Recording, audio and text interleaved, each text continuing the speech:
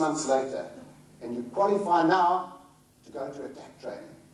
And in South Africa, your status is judged on how vicious your dog is.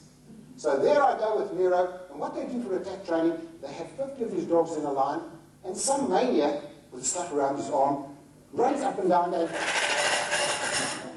pointing a stick at the dogs, shoving it in their faces, and they've then got to try and kill him. so there he was, came up to my gentle Nero and stuck the stick in his face, and Nero went.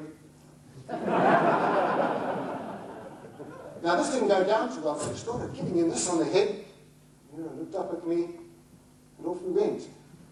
Back again the next week, up and down there, the dog's waiting to tear him apart, back to Nero, and once again.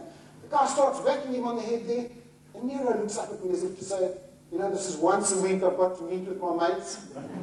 Some guy comes along, whacks me on the head, and you paid for the privilege of this. anyway, it's now the third week, and I sense a change in my dog. We go along there, and this trainer knows I've got a gentle dog. So he comes along with his stick lifted, five yards from there, Nero's up on his engine, got him on the floor, got him by the throat. Boy, he was out proud. My dog was now a killer. I went home that afternoon and told my wife I was so proud. And we were working in the garden that afternoon, watering the garden, and Nero does a number two in front of the patio. My wife does what she always does, naughty dog.